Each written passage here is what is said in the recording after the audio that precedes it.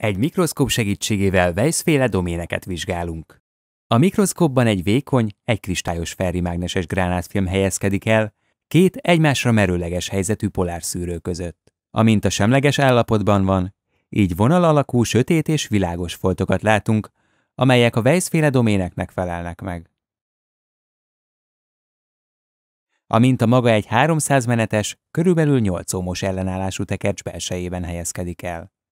Ha egyenáramot kapcsolunk a tekercsre, akkor tanulmányozhatjuk külső mágneses tér hatását a doménekre. Növeljük lassan az áramerősséget. Azok a domének növekednek meg, amelyek az áram által létesített tér irányában állnak.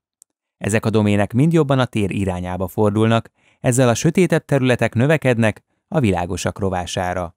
Alacsony térerősségeknél ez a domén kiszélesedés reverzibilis falelmozdulás mellett jön létre. Közepes térerősségnél irreverzibilis, hirtelen fellépő falelmozdulások tapasztalhatóak. Még nagy térerősségeknél a falak elfordulnak. Végül a minta egész sötétnek, illetve világosnak látszik, ami azt jelenti, hogy telítésbe került. A térerősség további növelése nem vezet a mágnesezettség változására.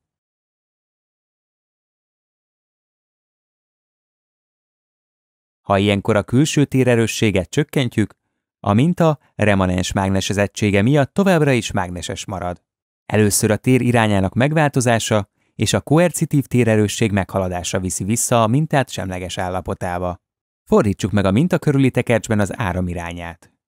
Ekkor az előbbi folyamatot figyelhetjük meg ismét, azzal a különbséggel, hogy most az áram a világosnak látszó doméneket fogja hízlalni, és a minta mágneses terítődésekor egészen világos lesz.